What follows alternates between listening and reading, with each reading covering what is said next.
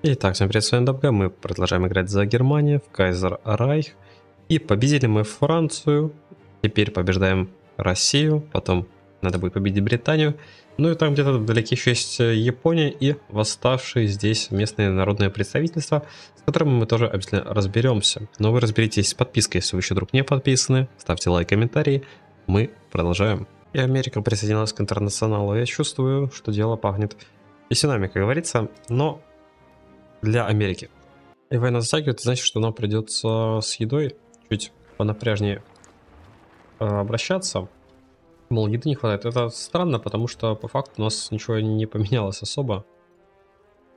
И говорят, мол, мы тут э, берем территории, это проблемы из-за этого, может нам надо выйти? Нет, куда выйти?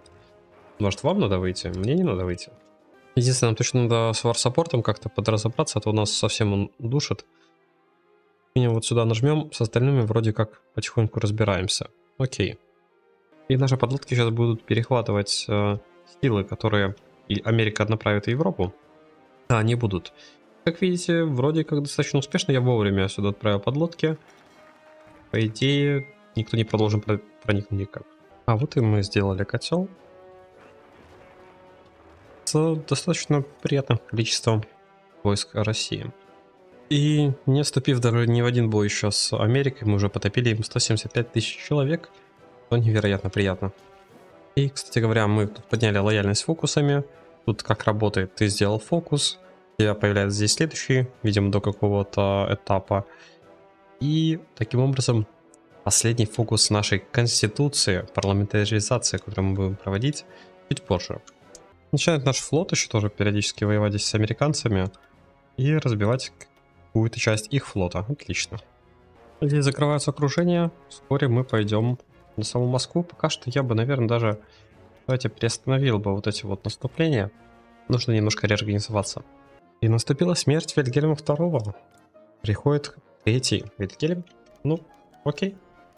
Это Китай, э, нет. Мы мириться не будем. И происходит коронация а у нас еще агенда периодически тут прокуют, ну, конечно, мы соглашаемся. И да, мы закончили нашу конституцию, насколько это возможно. Ее бы тут еще найти, конечно, среди всех наших э, модификаторов. И нет, я ее не нахожу. И она что ли будет только потом? И все это время бафал себя в будущее? И да, урон Америки от наших подводных лодок просто колоссальный, 520 тысяч. Ну, они же... Я же не вижу их на поле боя в России, а только в России сейчас активно ведутся действия нами. Следовательно, да, полмиллиона американцев просто погибли в лодках по пути в Британию. Великолепно. И объединилась Италия, ну, так как она в нашем альянсе, мы только рады за них. И наши войска немножко перегруппировались, э, получили мы пополнение в снаряжении, в людях, можем продолжить наше наступление. Ну и самое главное, авиацию мы немножко перебросили, и подкопили дополнительно. В общем-то, да. Теперь везде, везде у нас есть очень мощные тактические бомбардировщики, которые просто уничтожают любое сопротивление. Хотя вот здесь вот, допустим, у нас есть проблемы с снабжением, и эту проблему решить сложно. А вот я вижу, мы взяли Петроград, и, кстати говоря, да, здесь действительно, смотрите, американцы как-то проплыли сквозь вот этот ад. Можно их только с этим поздравить. Чтобы вы понимали, Антанта все еще ничего не делает. Я чуть не просмотрел высадку, благо у меня есть здесь чем ответить. И по факту это станет э, инвестицией в говно, как говорится, интернационала, потому что они здесь ничего не приобретут, а лишь потеряют кучу людей, и да, мы теперь здесь тоже рейдим. И слушай, на самом деле Россия это уже близка к тому, чтобы сдаться, тут фарсаппорт очень низкий оказывается, а я даже и не знал об этом. Но получается, да. Скоро сдадутся, я думаю, если мы дойдем до Самары и Казани, они реально сдадутся. Поэтому вперед, правые солдаты демократической Германии. И вот она, Российская Социалистическая Республика сдалась. Прекрасно. Нанесли мы удар, в скобочках э, полностью уничтожили. И все эти армии теперь свободны. И у нас как раз готова наша армия морпехов, прекрасно. Которых я прокачал, потому что у меня вначале была куча морского, потому что я все это время тренировал свои армии точнее свои корабли. Ой, смотрите-ка, победа в Европе, конец Второй мировой, Второй Вольткрика. И я так понимаю, Британию тоже не обязательно для этого побеждать. Но наши армии победили, наши герои возвращаются домой и цементируют наше правление на поколение вперед. Новая эра славы и процветания начинается. И открывается у нас послевоенный контент. Давайте что ж к нему и перейдем сразу. Начнем мы с строем победоносной арки. Можем конвертировать лишние дивизии в гражданские фабрики. Вау. И никого не смущает, да, что у нас все еще война с Британией и с Америкой. Абсолютно никого не смущает. Ну так, типа... Ну, объективно говоря, на самом деле, если бы такой конфликт был, это все еще был бы серьезный конфликт. Особенно учитывая, что и у тех, и у тех есть флот. Понятно, что мы побеждаем на море, но в реальном мире победить на море и Британию, и Америку было бы сложновато. Даже с нашими ресурсами. Ну ладно. Поверим, что... что мы просто настолько сильны. Потому что это так, но по игровым условностям. Ой, и перемирие с интернационалом. Мы примем только бескомпромиссную сдачу.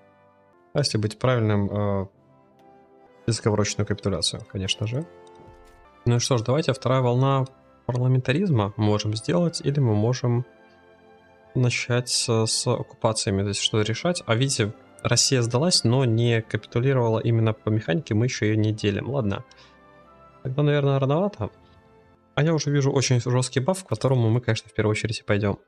И смотрите, можно распустить 10% э, своей армии. Ну, это рандомные проценты, я так делать не буду, конечно. В саппорта у меня, кстати, проблемы большие. Надо что-то с этим делать обязательно. И смотрите-ка, здесь уже пошли выставки, даже еще не наши. Но нет, теперь мы начинаем непосредственно наши, и э, нужно защищать конвой обязательно.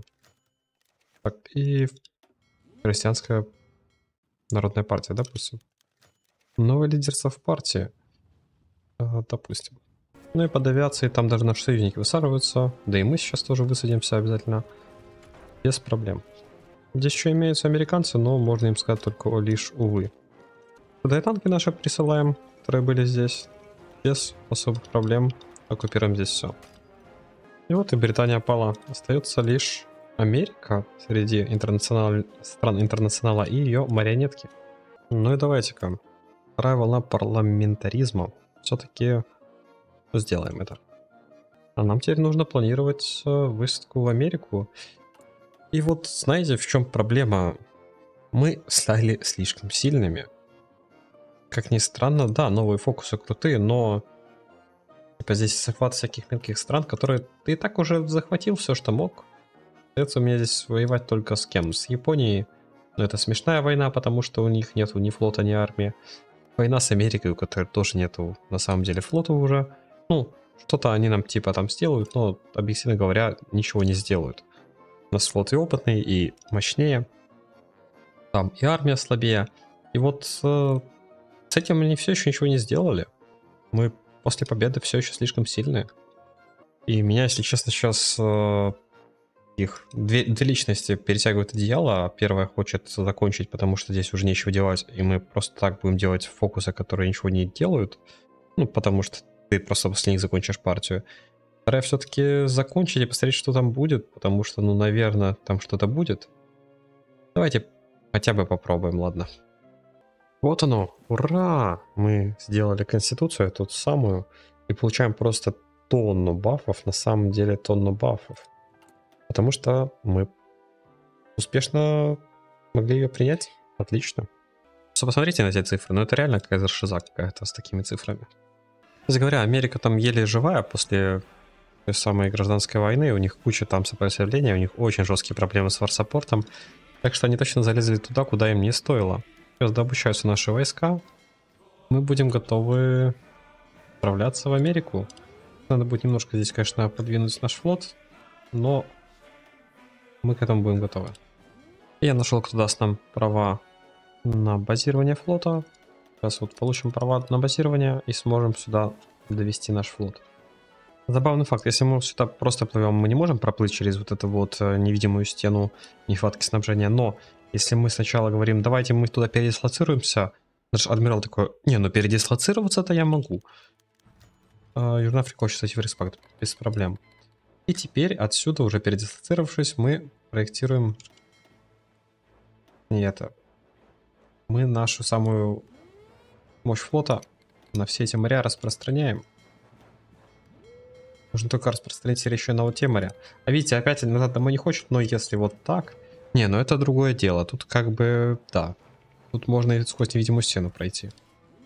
И вот победили мы все невидимые стены, можем высаживаться. Высадка это будет очень долгой, непростой, но я надеюсь мы справимся.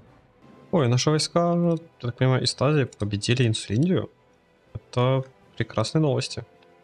Ой, все вернули из Азии территории, получается, это все территории из Азии нашей. Приятно. Ну и сюда едут на все наши союзники, и они тут начинают войну. Я в них верю. Ну и подъезжают сюда наши морпехи. Выставка началась, и пока я вообще не вижу никаких э, здесь проблем. Да, даже, даже щиток у моих войск. Я, я видел щиток. У меня там огнеметные танки добавлены, неужели их хватает на щиток? Насколько же американцы слабы? Теперь сюда могут ехать мои танки, а мои морпехи будут тут. Сейчас нам плацдарм готовить. Ну и американские города падают один за другим. Да, эти ребята точно не готовы к немецкой атаке. И вот все и пало. И теперь Гибралтар получают обратно испанцы. Ну, ладно, это была честная сделка. Индокитай все так же говорим нет им. И сейчас займемся оккупациями всех этих территорий новых. Так, в Польше военное правительство поставим. Потому что, видимо, по-другому поляки не могут. И дальше все, в принципе, как обычно. Ну, а Британию мы, кстати говоря, поделим на несколько стран, чтобы они не смогли нормально объединиться. И тут тоже, где можно, военное правительство становится. Я начинаю также делать реформы в Миттл Европе. Может, что-то даст? Может, нет. Никто не знает. Я не знаю. Ну, вообще, да, это даст нам вот этот фокус, который даст Factory Output 5% всем членам Альянса. Так что не так плохо. И Австралазия против нас готовит КБ, и Ансамур против нас готовит КБ. Вау. И я понял, что есть мне куда отправить мою армию. Едем мы готовиться на всякий случай против Франции воевать. И Британии только антандовские, то есть э, те, которые как бы, ну, не очень существуют, если честно. А то Австралазия напрягает немножко, если честно, нужно будет, нужно быть готовым, если что, дать просто Британии морду просто моментально одним ударом. И мы заставили Индокитай капитулировать, наконец-таки. Я говорил, что мы победим их. Мы их победили. И без проблем наша Исландия забирает все территории. Отлично. Теперь Сиам, который посмел нам напасть в спину, мы также ликвидируем. И да, Трансамур решил напасть на, Серб... на Сибирь нашу. Ну, удачи. И вот Сиам пал под нашим праведным гневом. И наконец-таки выборы, выборы, кандидаты демократы. Поэтому у нас есть вариант, э, что ЦВП выигрывает, вот, то есть центр наш, но нет. То есть шутка хорошая, не смешная. КД выигрывают. И мы теперь делаем не фокусы какие-то непонятные на бафы, а делаем фокусы этой партии, чтобы посмотреть, что там будет в конце концов-то. А вот и высаживаемся мы в Японию, без особых проблем. Даже не чувствуем, как говорится. И вот мы уже потихоньку подходим к Токио. Мы, как говорится, будем дома вовремя. И после этого останется что? Фэнтянь и Трансамур добить? Ну, вроде без проблем должна это быть. И берем следующую реформу, ту самую в Мидл Европе. Еще что-то багнулось, у Англии две оккупации, два духа, видимо, должен был измениться, а получилось наоборот два. Прекрасно. А вот и Япония пала. Тоже прекрасно. И по фокусам мы тут выходим в новую социальную демократию. У нас тут, в общем-то, все ради народа. И самых радикалов, конечно, мы осуждаем, чуть запрещаем. Но кроме этого, все ради народа. И судьба императора. Можем ставить его отречься от престола, либо ставить его, но отдать э, народу суверенитет. Нет, мы заставим его отречься от престола. Все-таки он и виноват.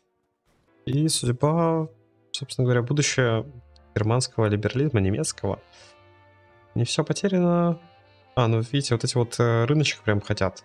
Ну нет, мы хотим не прям рыночек, мы хотим все-таки социальное государство, которое думает о народе.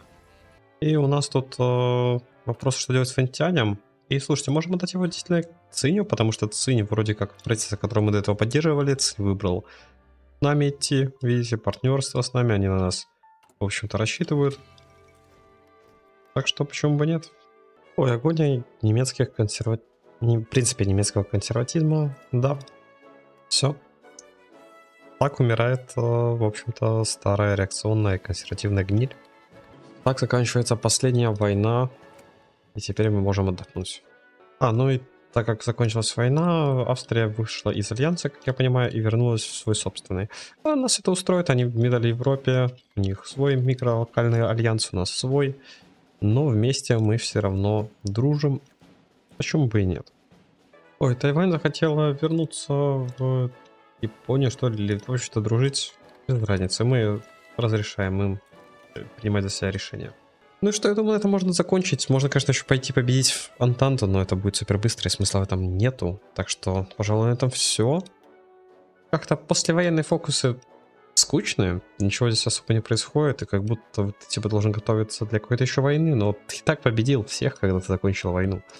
Это выглядит очень странно. Ну ладно, возможно, все выглядит так странно из-за того, что Антанта никак не вмешалась и даже не воевала. Буквально. Очень странно это все сработало. Тем не менее, с вами был Дабгай. Обязательно подписывайтесь, если вы еще вдруг не подписаны. Лайк, комментарий, твич, скорот все как обычно. И до скорых встреч. Всем пока.